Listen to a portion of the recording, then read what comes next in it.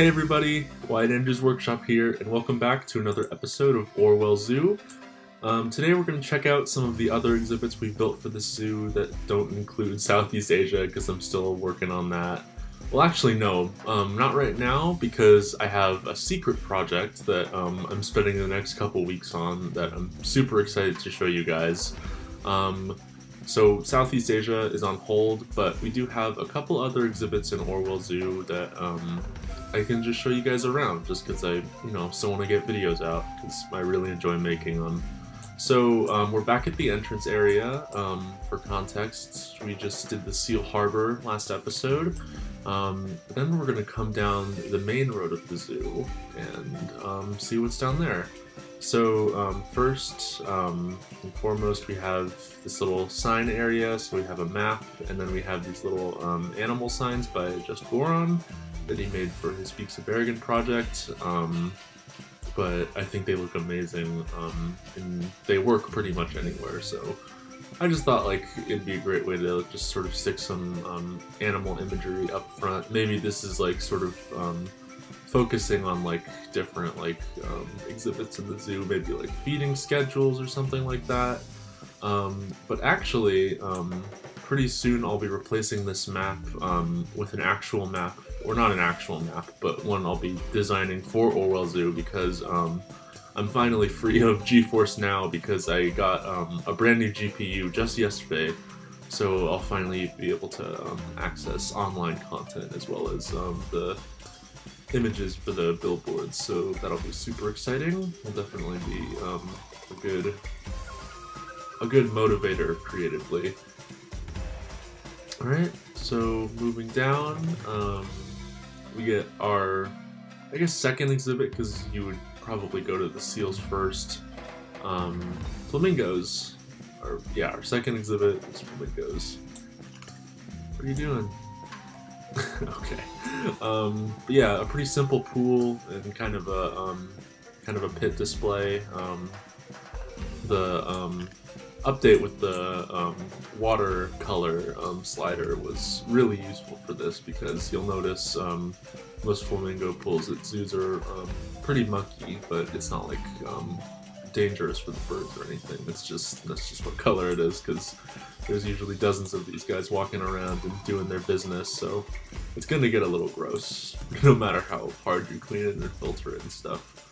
Um, and then there's the clock tower as usual, providing some some really nice views of the zoo as a whole. Um, and then this is the reptile house, but we're not actually going to look inside yet because I, I barely started it to be honest. Um, J&B Reptile World. I don't know what J&B is. It's supposed to be a sponsor, but um, I just thought like it, it, sounded nice. It was like a nice sort of um, acronym style, like um, well, not an acronym, but like it just sounded official. It sounded like a brand that would be sponsoring this reptile house. So we'll come we'll come over to this in a future episode.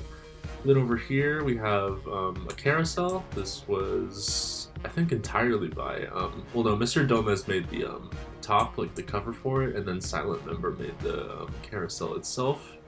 Really, really cool. Um, I thought it fit like amazingly in this project just because, um, you know, every every zoo has a carousel, at least in the United States. And I thought like there was something missing here. It was just a sort of big empty section of trees, and once I threw this in, it was like perfect. And yeah, coming back down here, um, we'll come through this little square area, and um, you might be able to tell um, what's over here given the um, enrichment item in the back, but um, this is the um, house for what we're about to see, the um, holding shelter. So um, staff could come in here, and this would also be where they would. Um, I figure they would. Um, it's giraffes, okay? Because I can't explain it without without mentioning the giraffes. I figure they would. Whenever they're moving the giraffes out, they would put the giraffes in a crate. They would train them to get used to that, and then um, they would come out of this um, outdoor gate. Or we come through here. This is a service road. They would get them out through here, that might be a little complicated just because this is this is the main yard of the exhibit and um, it would I think it would be much more convenient to do it through here, but this is another access point if need be. And then something I wanted to show off last episode but completely forgot was um, the backside of the seal exhibit is um, completely like smoothed off, like it's just it's just concrete um, compared to the like detailed rock work on the other side. I just thought it was a really neat detail that I completely forgot to show off last episode. So moving on, um, this um, house was directly based on the um, Houston Zoo's giraffe habitat, um, the barn that is. Um, I really love how it looks up against everything. And then coming through here in the main courtyard of the clock tower, then we'll come, okay, then we'll come past um, this little nature path, um, some benches, some of my potted plants, and then uh, there we go. This is the um, main Savannah yard. So um, I really love how this looks. Um, so this is the this is the main Savannah yard, and um, oh yep, I just wanted to talk about these. Um, I made my own signs just because I couldn't access the billboards. Used just Goron's um, well, now they're made of font pieces. I was going to say art shapes, but they're um, made of font pieces. And I'll probably keep these, to be honest. They, they, they look really good. Um, and yeah, as you can see, they share it with ostriches. Um, there's a little, um, there's a little, like, area where um, they would have, like, scheduled feedings for the giraffes. You could come up there. Um, and then there's a um, picnic pavilion over there that I haven't really done much with, but we'll get there when we get there.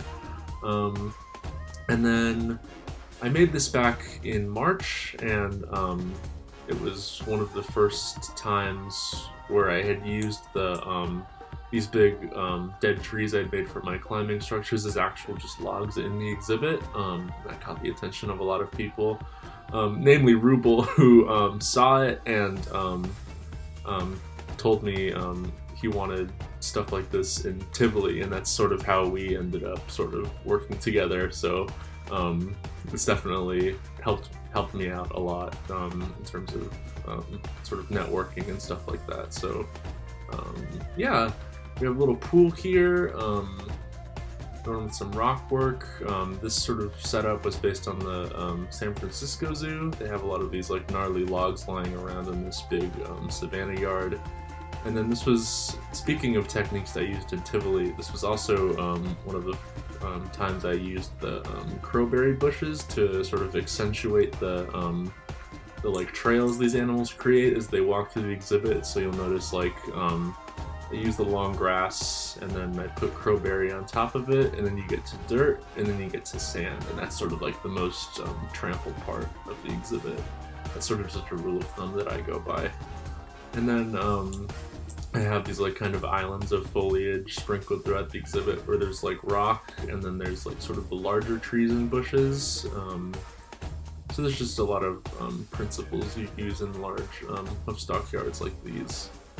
And then to get a better look at this um, giraffe barn, um, they, the giraffes actually can't make it through here, so I put this guy inside, and then I put this guy inside of the um, the actual barn. I haven't done anything on the inside, but um, I'll probably have to because um, I did all of this detail work, so I'll have to do something with it in the future. And then oh, this is taking a long time because I'm I haven't got out of Tegid Cam. We'll come down through here. Actually, we'll just get out of Tegid Cam. Oh, oh, wait, there we go. Okay, it's kind of an awkward episode, but whatever.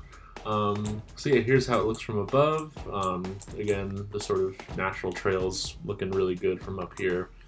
And then we'll move back down, and um, I haven't done anything with this yet, but um, coming through here, we have a slender-tailed meerkat exhibit. Um, pretty soon I'll be able to um, actually put them inside if that um, leak is anything to go by. So I won't talk too much about that, lest Frontier get angry at me. Um, but yeah, it's just a pretty simple implied exhibit. Um, I think I based this setup off the Cincinnati Zoo. Well, I don't know because the Cincinnati Zoo has something like this where they have a flamingo exhibit like overlooking the giraffe exhibit, but mine has meerkats. So same idea, just sort of a double view that a lot of modern zoos employ. And then um, is the picnic pavilion. I took um, Domez's carousel cover and then just sort of doubled the size of it and recolored it. Um, and I think it looks um, amazing from like over here and um, sort of coming through, poking over the giraffe exhibit, as well as um, when you're in the seal exhibit through here, you can see it from there also. Um, there's just a ton of great vistas in the zoo that I'm super proud of. And then um, some of Jash's um, picnic benches. So yeah, um, a pretty simple, um, pretty simple build. Over here, I'll have um, this is where the Afro or the whole Africa section is going to be. So we'll have like a big an even larger savanna yard over here for like rhinos and stuff, and then um, we'll have like the fennec fox and the um, probably the African penguin. I'm not sure. Um, we'll see how well it'll fit up against everything else, but um, I'm super excited to get that stuff done. And then, um, yeah, there's um, that's going to be um, a desert dome. I have a buddy of mine actually working on that right now. Um, so I'm pretty much just sort of showing off everything um, I can while um, I'm both working on the secret project and then also while my buddy's working on this desert dome. Um, so then we can get back to this um, big final cherry on top for the Southeast Asian section in the future. So, yeah, I'll see you guys in whatever comes first, and have a good one.